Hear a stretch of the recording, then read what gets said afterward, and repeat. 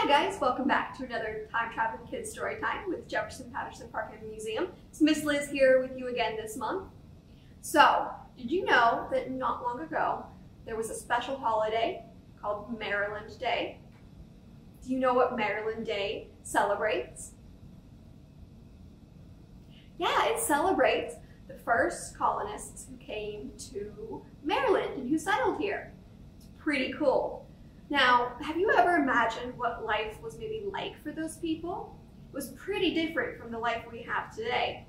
For one thing, there was no electricity, so there were no lights inside their house. If they needed light inside their house, they had to use candles. And they didn't have any of the electronic devices that we have today. There were no phones, there were no computers, there were no tablets, no games, all that kind of stuff. So like you're watching Miss Liz here today, maybe on your TV or your computer or phone, you wouldn't be able to have any of those if you lived back then. Pretty different way of life. There were no cars, so you couldn't uh, just hop in a car and drive to the store. You had to either walk or maybe, maybe you might have a horse and you could ride a horse, but most people walked. And inside your house, there was no running water. So you didn't have a bath, you couldn't take a bath or a shower the way you do today. Uh, there was no dishwasher, you didn't have a toilet that would flush. You couldn't just go to a sink and turn on the water and wash your hands. You had to haul water up to your house from a stream or a well or a spring. So it's a pretty different way of life. Do you think you would like living like that? Yeah, I think it would be really interesting to live like that for a day but I think I'd want to come back to my life today. Well, today we are reading a story about a couple of kids who lived around the time of the American Revolution and George Washington. It's called Amy, Ben, and Catalpa the Cat, and it's by Alma S. Kuhn and illustrated by Gail Owens.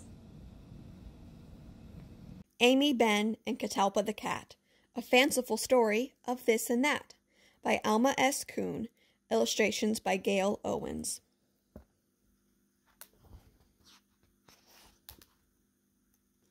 Out in the garden between the holly trees, where hives were buzzing with busy honeybees, there's a straight little path to a sunny bright kitchen, and the smoke from the chimney would start your nose twitchin'. It seemed like the chimney was trying to say, Amy is baking her pies today. There in the kitchen, Amy was mixing sugar and spices for pies she was fixing. Amy had stopped all her spinning and mending. Now she had sweet apple pies she was tending. Red apples, green apples, big ones and small. How good they would taste when she baked them all. Ben came to the kitchen and squeezed through the door. He'd brought a big barrel that he rolled on the floor. It bumped and it bumped as it turned on its side, and Ben pointed out with the greatest of pride, his very own marker, a big letter B, that he'd carved on the bottom for all to see. Catalpa the cat pulled straws from a broom. She darted and dashed all over the room. A funnier name there never could be. Catalpa is really the name of a tree. Sometimes they simply called her Cat, but she liked Catalpa, and that's that. Da-da rum, da-da rum, da-da rum dum dum. Ben heard the sound of the regimental drum. He ran to the window, and what did he see? A drummer as handsome as handsome could be. His sticks hit the drum with a rap tap beat. The drum set the pace for his marching feet. Amy had eggs on the window ledge. Ben pushed them back away from the edge. If they fell, the eggs would break, and Amy knew well what a mess they'd make. A fifer leaned on the window sill. His fingers flew as he played a trill. He said there would be a fair today. He blew on his fife and went away. Amy and Ben were excited and knew there wasn't much time to get there, too. Ben saw a sugary cinnamon bun and took it along to eat for fun. Amy and Ben were afraid they were late. They ran through the garden and opened the gate.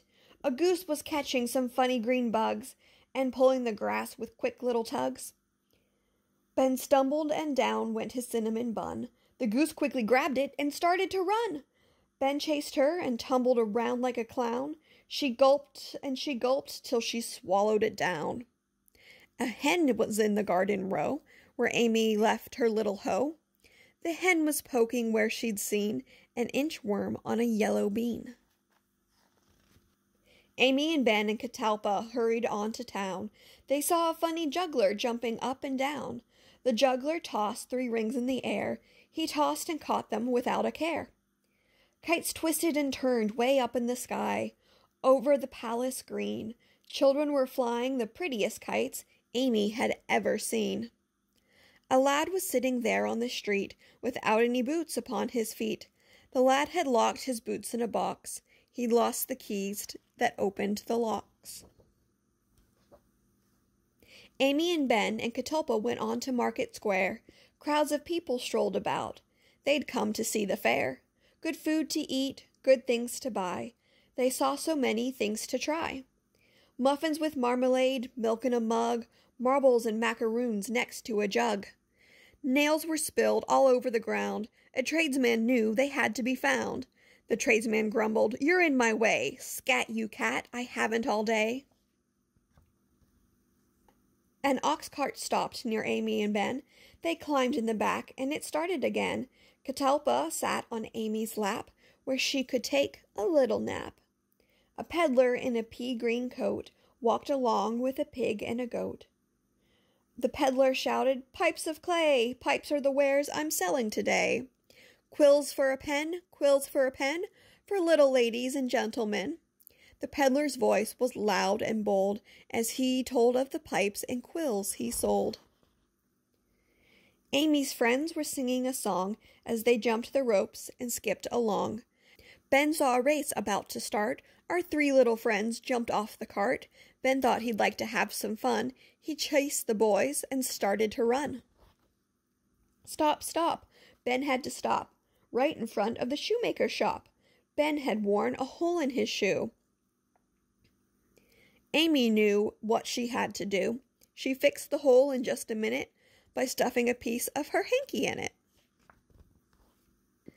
Down the street at Tarpley's store, they climbed the steps and opened the door. The shelves were stacked with tea and flour. To see it all would take an hour. A comb made out of tortoise shell, a toy atop, a tiny bell kettles and lanterns made of tin, and games for boys and girls to win.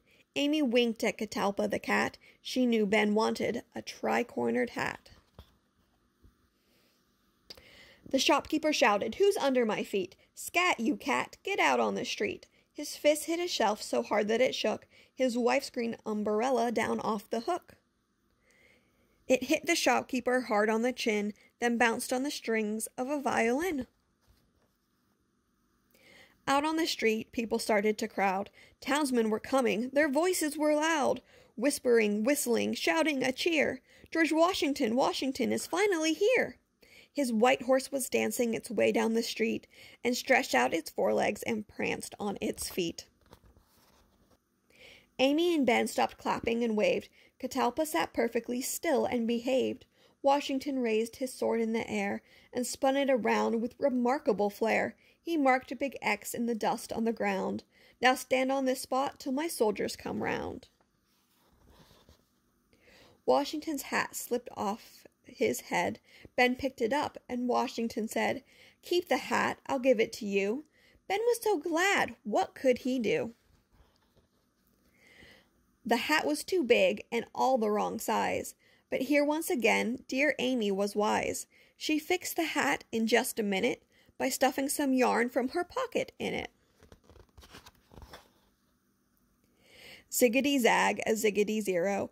Our three little friends had seen their hero. Amy winked and said with a sigh, If only George Washington had tasted my pie. Ben pushed his hat down on his head. He liked it so much he might wear it to bed. Amy could see Ben's wish had come true a tri cornered hat. Would you like one too? A ziggity zag, a ziggity zat.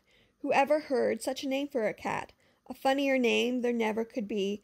Catalpa is really the name for a tree. Sometimes they simply called her cat, but she liked Catalpa, and that's that. The end. All right, guys, I hope you enjoyed that book. That cat got into some trouble, didn't it, sometimes?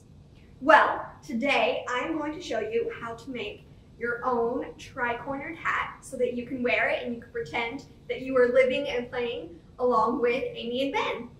So, for this craft, grown-ups, there are a couple things you're gonna need. Um, I don't have them on the table here with me, but you're gonna need some paper and scissors. And then you're gonna need glue, um, maybe a marker or a crayon, and then something to decorate your hat with. So let's go ahead and get started. Now, I have my pieces already cut out, but you need three pieces that are this shape.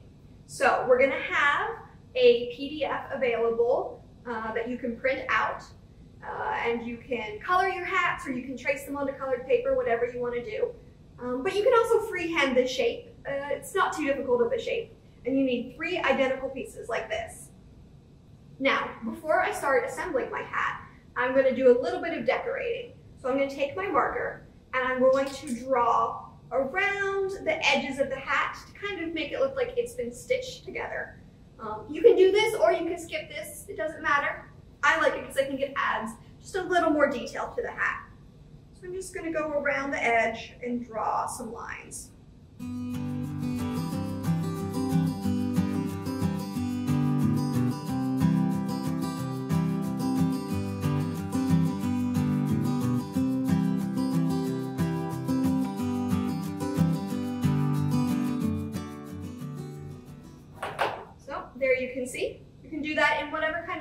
Want. And I'm going to do this to the other two pieces of my hat. All right, now that I have lines drawn on all three of my pieces, I'm going to start gluing my hat together. Now this is where if you need your hat to be a little bigger or smaller, you can shift it a little bit based on how much you glue together. So the, the tighter, the farther in you glue it together on this piece, the smaller your hat's gonna be. The farther out you put that glue line, the bigger the hat's gonna be.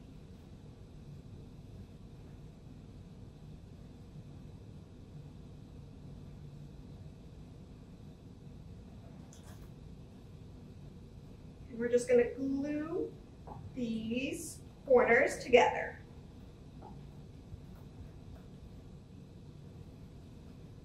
Now I'm gonna rotate it, and I'm just gonna go to my next corner.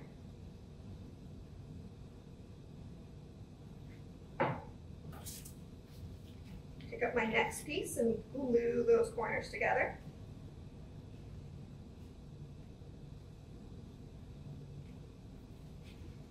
And then do my last one.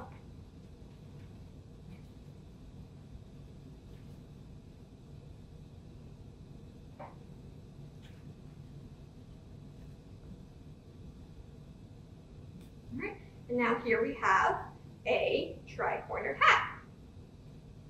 Now, you can have your hat like this, but you can also decorate your hat a little bit. So you can put on maybe a button to decorate it. Uh, you could use maybe a feather. You could go out in nature and collect something cool to put on your hat. Uh, you could use some ribbon, anything that you have. Now, for putting things on your hat, I recommend using liquid glue just because it holds a little better. I'm going to put on this button and this feather. So right here on the corner, we'll put a generous amount of glue to get both of these things glued down. Put my feather in. And going to put just a little bit more glue on top of that feather. Glue the button down too. So once the glue dries, I will have a great decorated tricorn hat.